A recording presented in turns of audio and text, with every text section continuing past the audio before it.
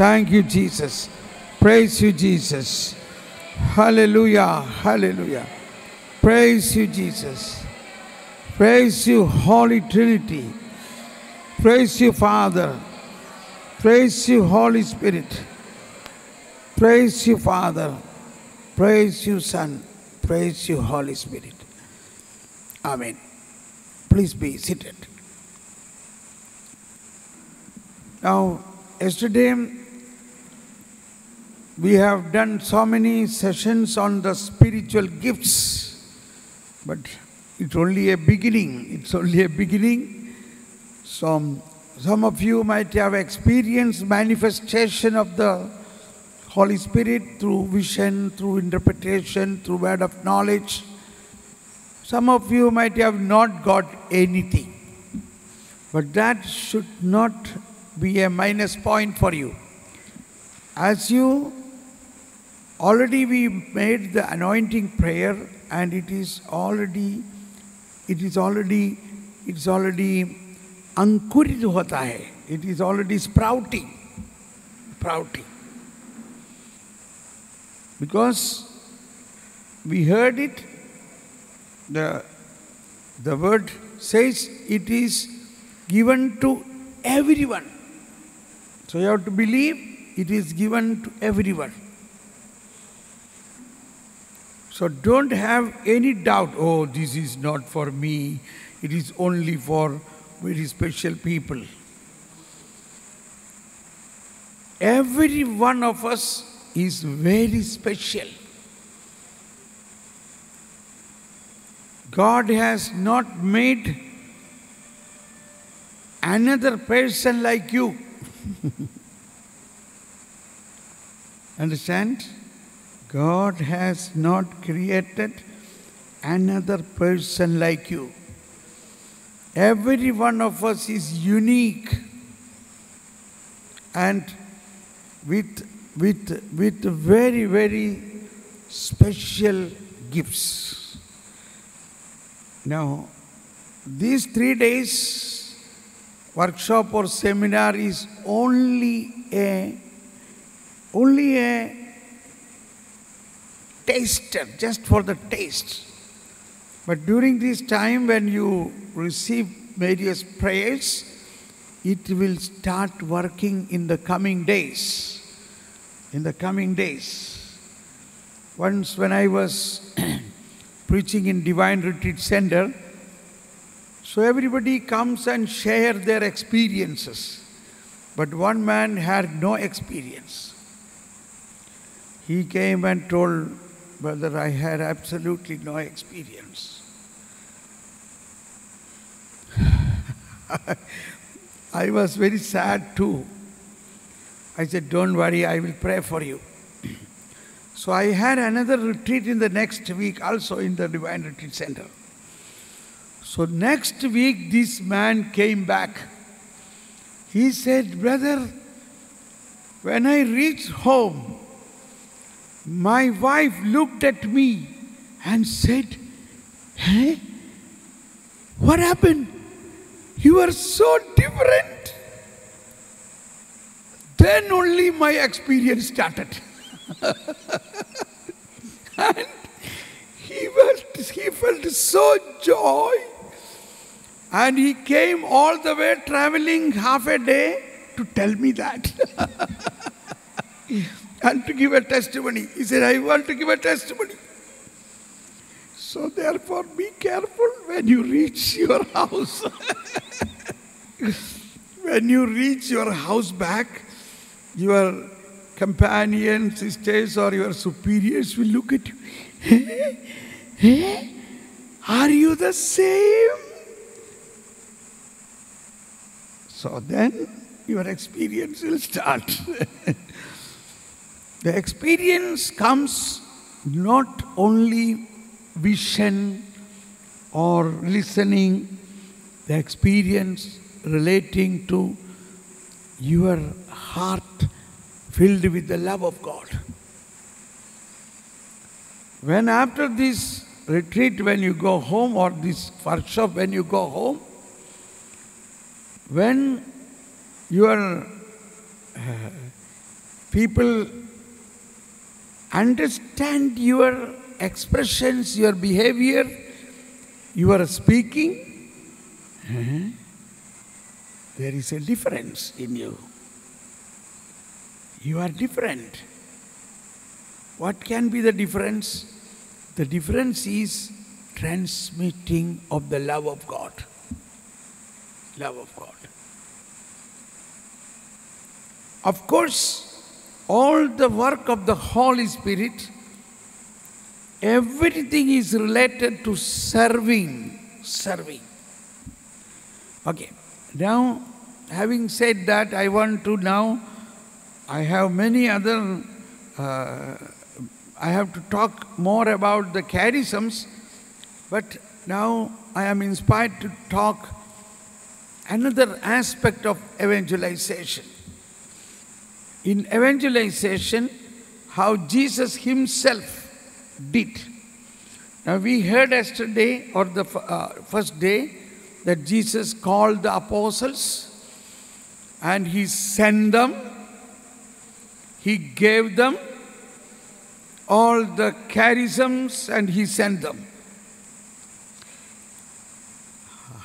And according to Matthew, how they were going?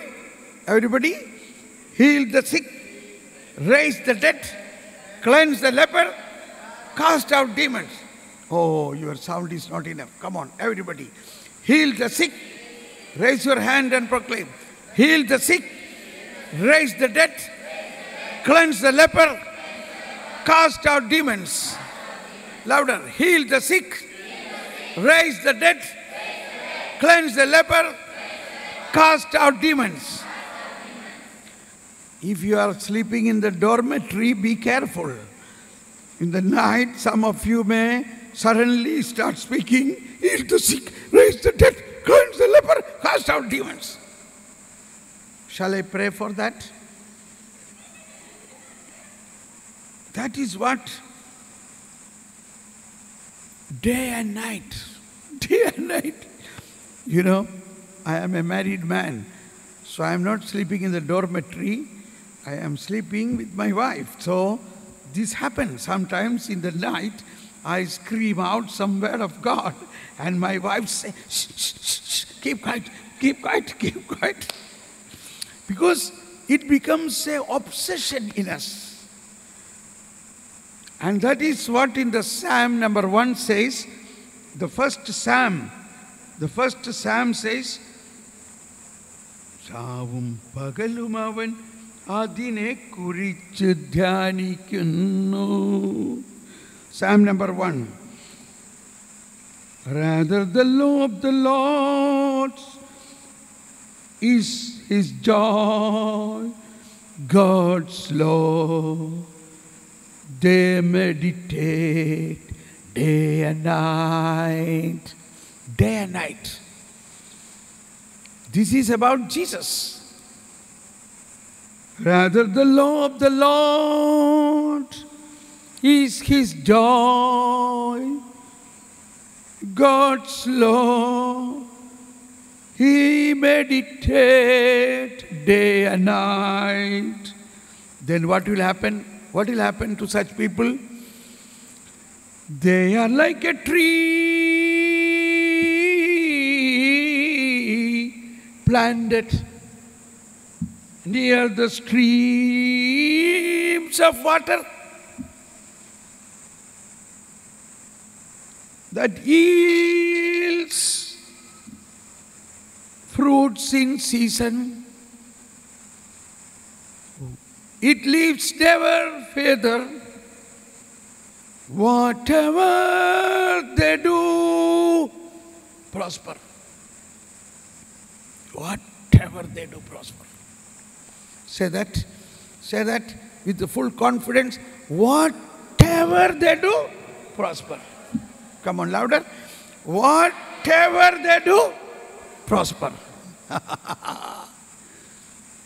Look at this man, Thomas Paul. I have full confidence. Anything I do prospers. You know what is the reason?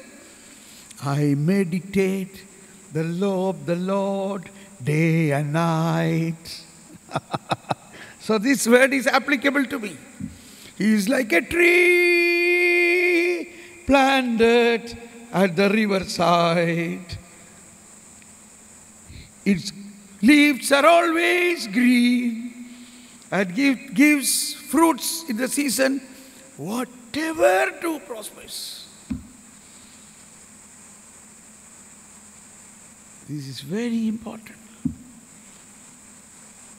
Uh, we have Bible. Sometimes we open and read. That is not enough. He meditate day and night. Shall I sing it in Malayalam? All the Psalms, this is another testimony.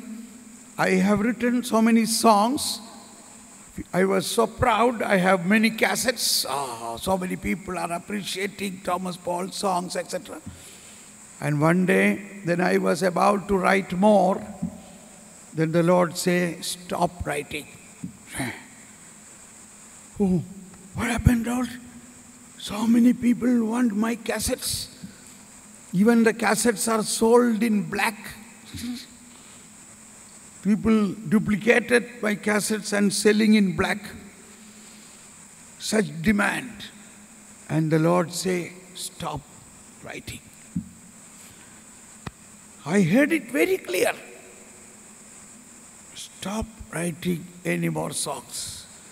I closed the book and I said, Lord, I'm sorry, what have I done wrong? He said, I have written 150 songs. Why are you not singing that?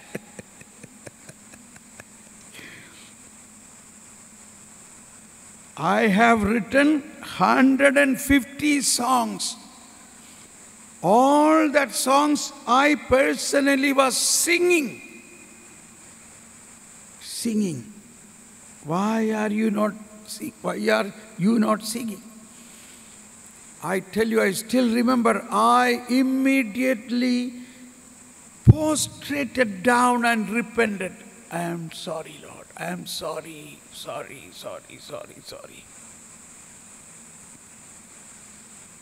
Thereafter, I lost or I gained such a passion for the Psalms.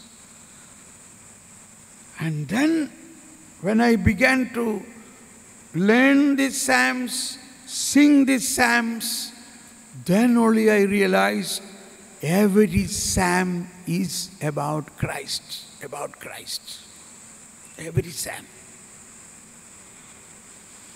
And Christ and Blessed Mother, they together were singing every day many Psalms.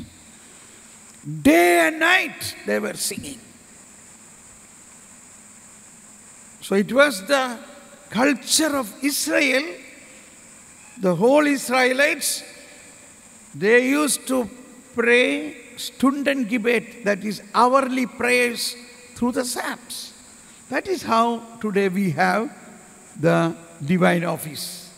It came from that time. From the time of David, Israelites were, their life their life is in the rhythm of the Psalms. Their life is in a rhythm. They cannot walk, they only dance and walk. They carry the bottles of the water and sing. They sweep the garden and sing. They make the watering and sing. They cut vegetables and sing. Always their life, morning to evening, in the rhythm of the Psalms. And so also now my life is like that.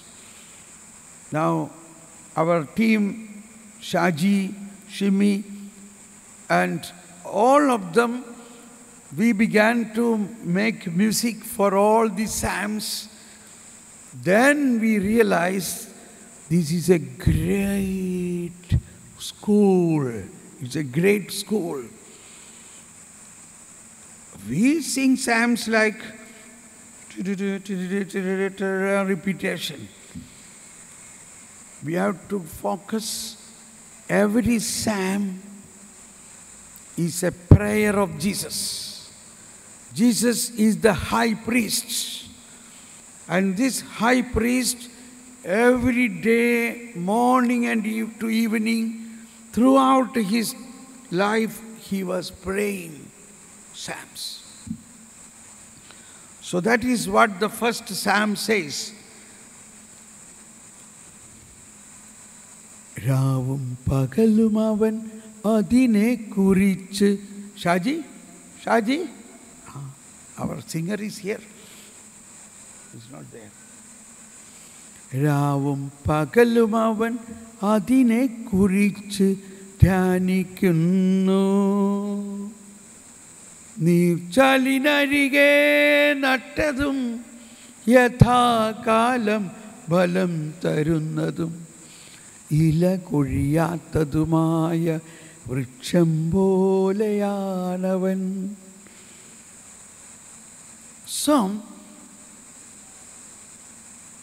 see, this is how the Holy Spirit is guiding. I wanted to talk on prayer, uh, how the Holy Spirit brought me to praying psalms. Okay.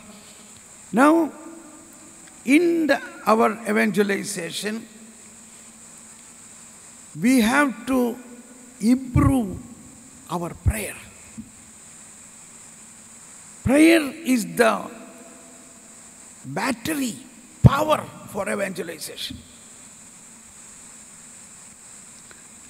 Now, Luke chapter, so we understood Luke and Matt explained how Jesus called them, gave them, and sent them.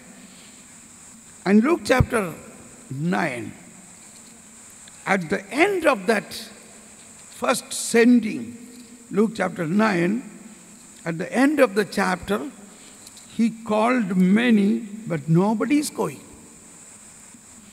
Nobody is going. Luke chapter 9, beginning, he called them, he sent them. But at the end of the Luke chapter 9,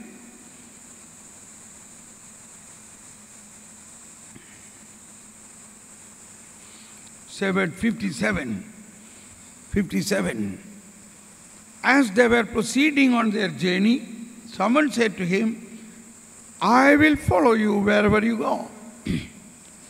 Jesus answered him, Foxes have dens and birds of the sky have nests, but the Son of Man has nowhere to rest his head. Son of Man has nowhere to rest his head. Now, the interpretation of this also you must learn, but I am not going into that now. And to another he said, Follow me. That's the point. But he replied, Lord, let me go first and bury my father. But he answered him, Let the dead bury the dead. But you go and proclaim the kingdom of God. And another said, I will follow you, Lord, but first let me say farewell to my family at home. To him Jesus said, No one who sets a hand to the plow and looks to what was left behind is fit for the kingdom of God. So, in the nutshell, Jesus is teaching us how urgent, how important is the evangelization. When a man said, I have to bury my father, is there anything as important as that in one's life? Is there anything duty bound to that person? Anything else? So, ആ ഷാജി ഞാൻ നിന്നെ അന്വേഷിക്കായിരുന്നു ഒരു സങ്കീർത്തനം പാടാൻ so you be here we will sing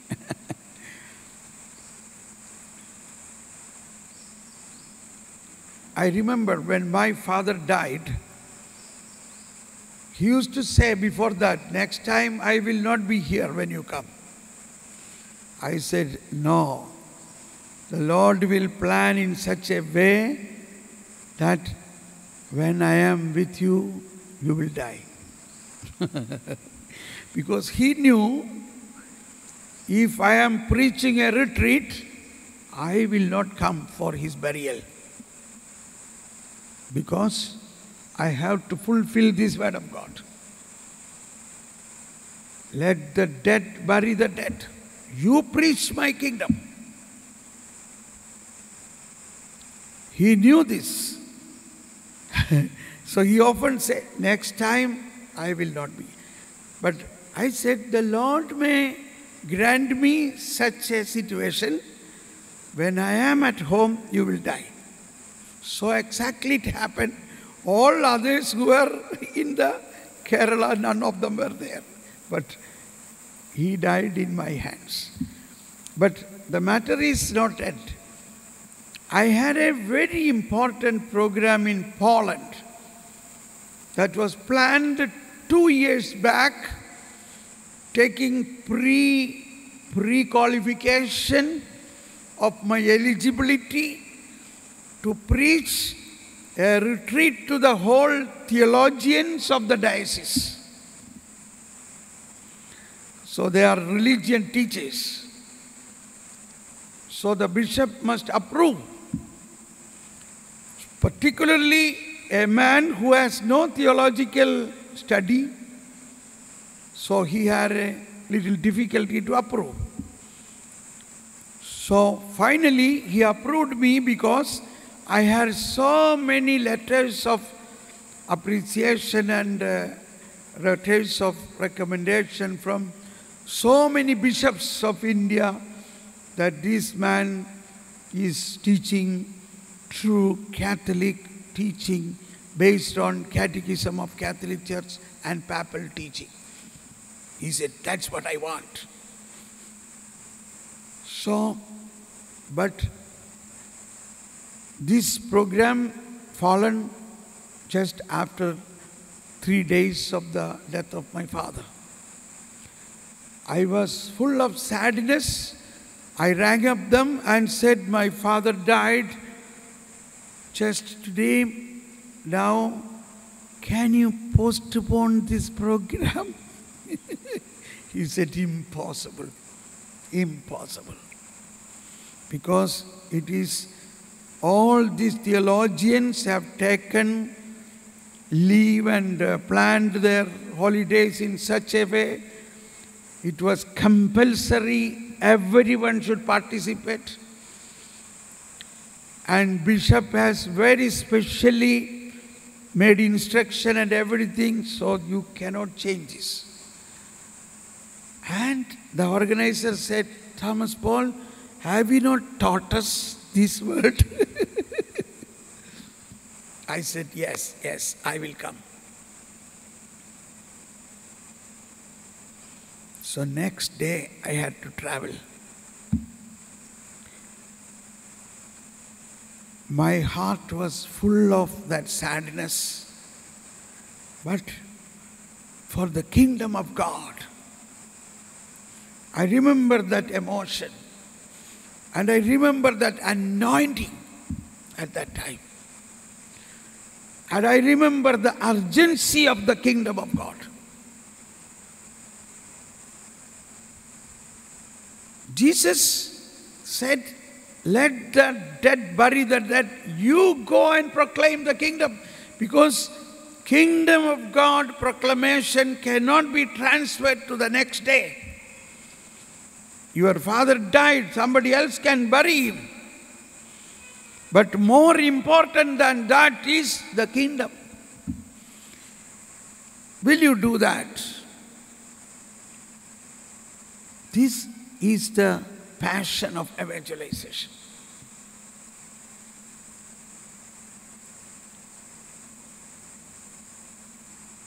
You must recognize what Jesus considered evangelization is the most important task of the church. So in Lumen Gentium or all the document says church exist for evangelization. Can you get that passion? Or you give, oh, I will go home after my home visit, I will do that, then afterwards, if I have time, I will proclaim. Then no soul you can win. That means you have no passion, you have no power. You are doing something after everything is over.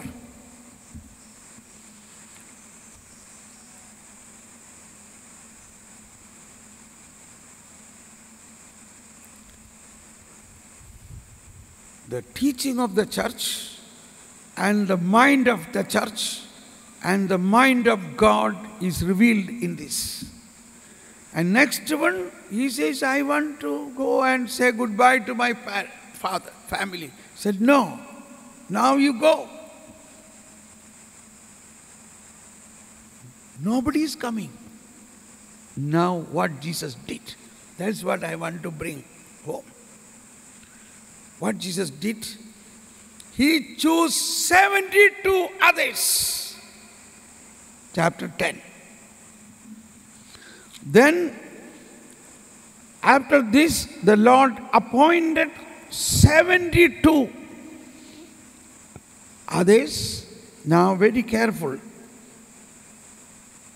What was their task? Whom he sent ahead of him he did not go. He sent ahead of him for what? In pairs to every town and place he intended to visit. He said to them, The harvest is abundant, but the labors are few. So Pray to the master of the harvest to send the laborers for his harvest. Now, this in another language, he began a prayer apostolate. Prayer apostolate. This, in our religious oh, terminology, a contemplative apostolate. contemplative apostolate. That reminds me, Mother Teresa began an active apostolate going to the gutters in Calcutta, catching so many lepers and all that thing. But she parallelly began a contemplative apostolate which is not known to many people.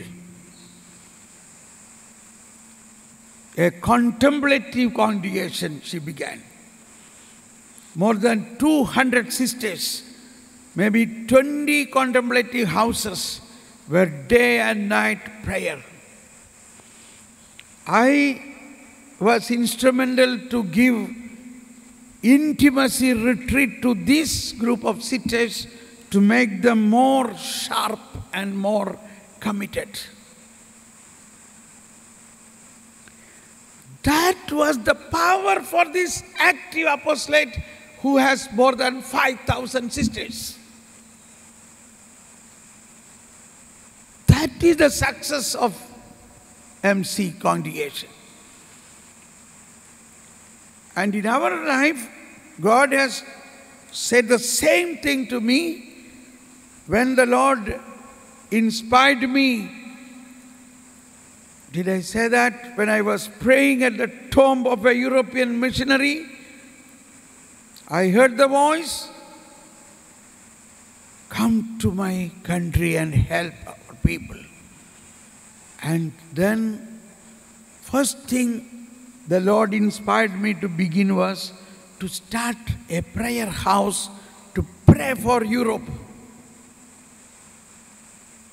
And we began to pray day and night. And then only I could reach Europe. And as soon as we went, I took my gold group, Shaji was also there and other four people. As soon as we landed there, first thing we started was day and night adoration.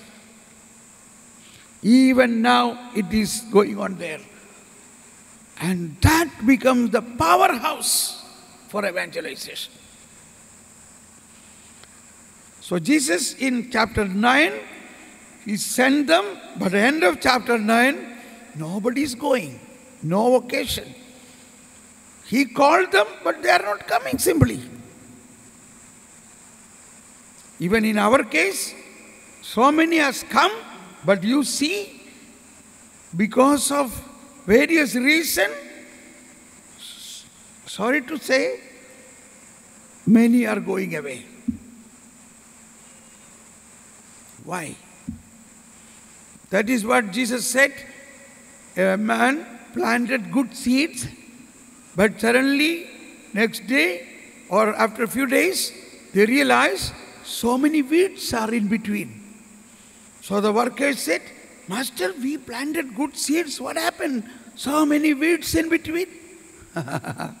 when you were sleeping, the devil came and planted the weeds. Shall we pluck it out? No, no, no. Let them grow. At the end, I will first remove them, then the good.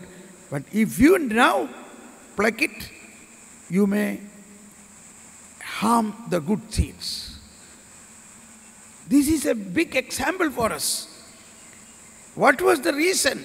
In the night, the devil comes. So, what we should have done? We should have prayed day and night.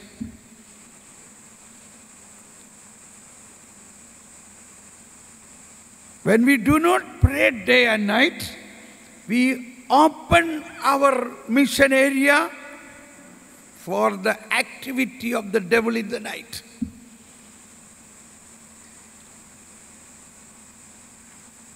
Day and night power is required.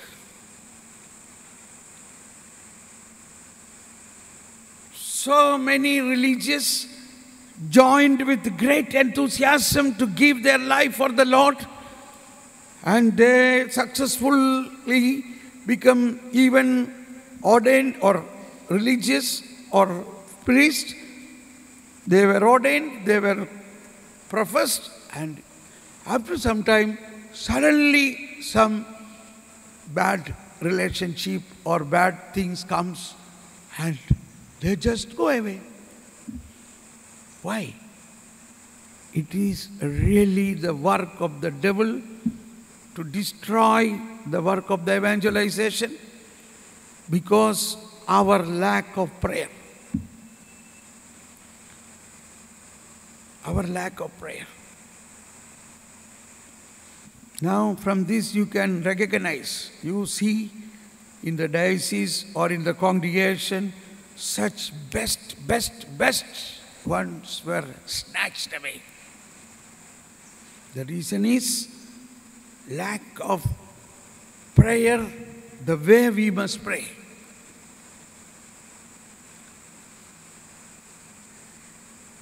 So he began a prayer apostolate. So, chapter 10 must be understood. Chapter 9, sending of the apostles for evangelization, but nothing happening.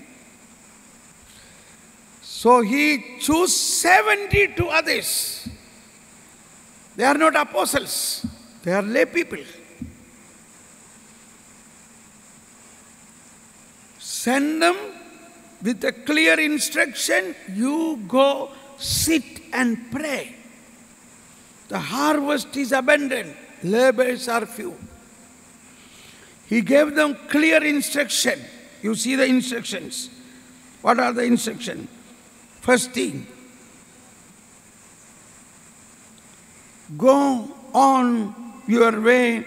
Behold, I am sending you like lambs among the wolves. Lambs among the wolves. So you are going not with a red carpet welcome. You are going into the land of wolf. you will be attacked. You will not be respected.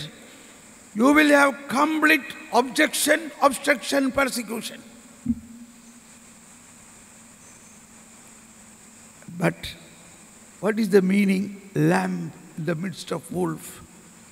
And be prudent like a serpent, be simple like a dove. So how we have to learn this? So when a lamb is sent to the midst of the wolf, why Jesus do this? Is, is Jesus is such a fool to send a lamb at the midst of the wolf so that the wolf will tear and eat the lamb? What is the meaning of that? Inside this lamb, the Lord Himself is there. I am with you.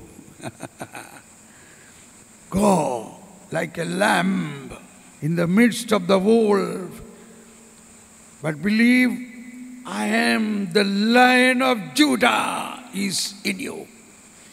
When you confront, believe I will not leave you orphans. I am with you. The lion will come out. Now the lamb become lion to conquer the wolf. But very important teaching is given the next. Very important. What is that? Carry no money bag, no sack, no sandals, and greet no one along the way. Is it a Christian? Don't greet anybody. But it is very precise to these people who are called for contemplation. Carry, sorry, one minute.